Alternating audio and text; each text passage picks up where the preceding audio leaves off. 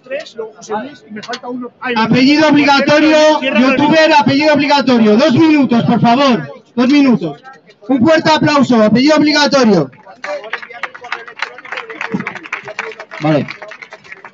Hola a todos. Estamos ante el Ministerio de Igualdad. ¿Pero qué significa igualdad para Irene Montero y las degeneradas de su colonia? Igualdad tiene tres significados para esos degenerados.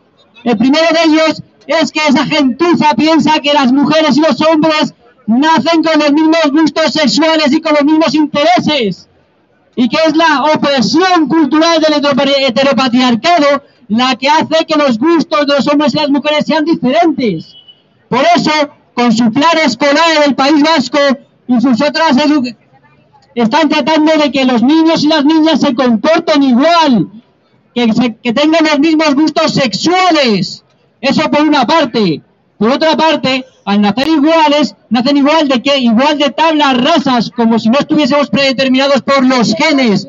Por lo tanto, no hay derecho natural. Y si no hay derecho natural, no existe el bien y el mal. Y todo es relativo. Y si todo es relativo, todo es igual. Y por último, esta gente piensa en igualdad en términos marxistas. Igualdad de resultados a la fuerza, sin tener en cuenta la libertad de oportunidades. Y bueno amigos, eso es todo. Un saludo.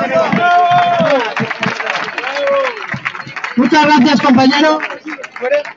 Silvia, Silvia Diego.